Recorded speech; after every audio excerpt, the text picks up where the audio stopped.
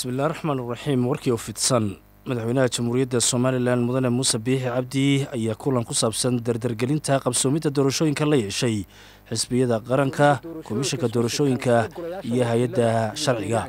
Waxaana madashaa goobjoog ka ahaa madaxweynaha jamhuuriyadda somalilan mudane muuse biixi cabdi madaxweyne ku-xigeenka jamhuuriyadda somalilan. Guddida komishanka doorashooyinka qaranka hoggaanka sare ee saddexda xisbi qaran guddoomiyaha maxkamadda sare xeerlaalyaha guud ee qaranka iyo xubno ka mida golaha wasiirada intii uu kulankaasi socdayna waxaa lagu naaqashay sidii somalilan bishan aynu ku jirno ee mey ay uga qabsoomi lahayd doorasho xor iyo xalaalah oo golayaasha wakiilada iyo deegaanka. Dadkii mateli lahaa lagu soo dooran lahaa. Madaxweynaha jamhuuriyadda somalilan mudane muuse biixi cabdi ayaa ku dhawaaqay go'aammada shirkan ka soo baxay ee layskula qaatay in ololuhu noqdo xisbiyadu maalin laba maalmood uu xis waliba ololaha gelayo waa lix maalmood. Waxaynu haysanaaba waa saddex iyo toban maalmood haddaba bato oo shaqo ee inooga hadhay doorashadii. Xisbiga waliba maalin buu fagaaraha beerta xorriyadda tegaya gobolladana goobta ka dhaxaysa qaranka ee fagaaraha weyna tegaya degmooyinkana tegaya goobta fagaaraha.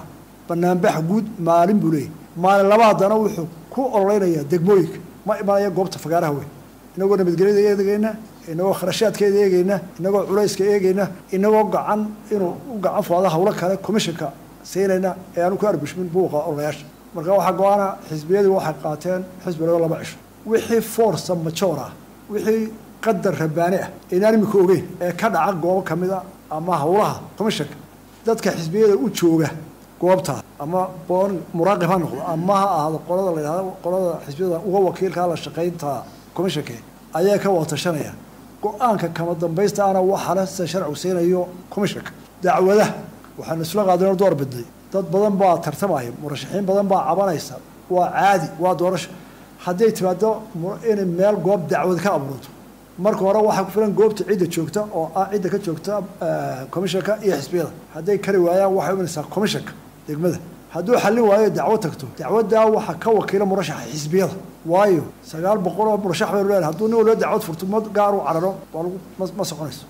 Guud ahaan shirkan maanta waxaanu aragnaa shir qaran oo aada iyo aad miisaankiisa u leh taariikhi ah waxaynu ku go'aansanay inaanu wada jir doorashaa u galno aynu ka saarno xaraf tartanka maadaama dad badan tartamayo oo ay tahay mid baahsan inaanu qaranka ka daryeelo.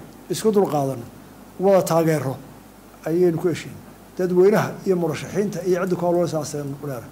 Xukuumadda waxaa laga rabaa amnigii iyo dhaqaalihiiba inay intiis ku filiso ilaa maantana alxamdulilah waa naga diyaar. Shacbiga iyo murashaxiinta waxaa laga rabaa inay la fududeeyaan hawsha oo qiimaha qaranka la eego. Aan la eegin wax yaraa maaratay hoose aan loo eegin. Waa hawl culayskeeda leh commissionka oo toddoba qofa hawsha intaa layga saaran tahay dhammaanteen waxaanu u ballan qaadno iminkana u ballan qaadaynaa inaan la shaqayno garab istaagno hawsha ka khafiifino intii suurtagalaba commissionka waxaanu ugu mahadnaqaynaa inay iyagoo muddo gaaban oo sagaal bilood xisbiyadu siiyeen oo hawshan ku cusbaa oo dhibaato badan maray ay ku qorsheeyeen ay fuliyeen in koob iyo soddonkii aynu qabsanay ballanteedii aynu ku fila doorashadii oo maanta hawlahoodii boqol kiiba sagaal iyo sagaashan ay dhan tahay. Waxaa kaloo mahadnaqayaa xisbiyada mucaaridka ah. Waanu ku bogoodin oo waanu uga mahadnaqaynaa guddoomiyaha xisbiga mucaaridka ucid injineer faysal cali waraabe ayaa ballan qaaday inay fulinayaan qodobada shirkan ka soo baxay iyo guud ahaanba waxyaabaha suurto gelinaya inay doorashooyinka wakiilada iyo deegaanku si qurux badan ay uga qabsoomaan dalka jamhuuriyadda somalilan waa u dhannahay way dhammaatay hadda waktigii magaranaysaay isriixu u dhammaaday. Waxa wey horta marka hore waxuu mahadnaqayaa commissionka. Doorashadii hadda aynu maanta gelina waa doorasho cusub waa markii u horreysay in laba doorasho isku sikana ayay noo kow tahay doorashada maanta doorasho aynu leenahay keligeen maaha maanta mid adduunka oo dhan u soo eegiyo taasoo keentay inagoo imanka laynoo arkaa geyigan ku noolnay regionkeenan meesha ugu stabilisman ugu nabadgelyo fiican una dumaraatisan oo doorashadii lixaad baynu qabanaynaa oo free and fair ah si aynu adduunka u tusno kartideyna iyo wanaageena maanta waxaa nagu waajiba inaynu sharafta dalkeena iyo magaciisa koruqaadisiisa inaynu u wada guntano annagu haddaan nahay asxaabta macaaradka waxaanu ballan qaadaynaa inaan wax dhibaatay wanaag moojaano naga iman waxaan leenahay dadka musharaxiinta dadku musharaxanyay konstituusiyaasha waxaan leenahay dadku waa dadkeennii ilaahay baa subxana watacaala qofkii soo baxaya ilaahay baa og in la isdejiyo ku ducaysano inay nabadgeli nagu dhacdo dad wanaagsanna inoo soo baxaan. Guddoomiyaha xisbiga mucaaridka ah ee waddani cabdiraxmaan maxamed cabdilaahi ciro ayaa hambaliyeeyey komishanka doorashooyinka qaranka. Waxaa la isla qaatay gacan buuxda la siiyo komishanka doorashooyinka qaranka oo qaranku dhammaantii uu adeego hadday axsaab tahay iyo hadday xukuumad tahay iyo hadday ciidan tahayba. Waxaa la isla gartay arrin kastoo soo kordhana in tala midaysan lagaga baxo waa laba doorasho oo ka warqabtaan sanaaduuqdu intay berigii hore ahaan jireen laba laab bay hadda oo saddex kun oo sanduuq waa qiyaasi kartaan dee saddex kun oo sanduuq muraaqibiinta axsaabta qudhaa waa sagaal kun noqonaysa marka operationka intaan la eg ilaahay waxaan ka baryayaa inuu aynu ku guulaysano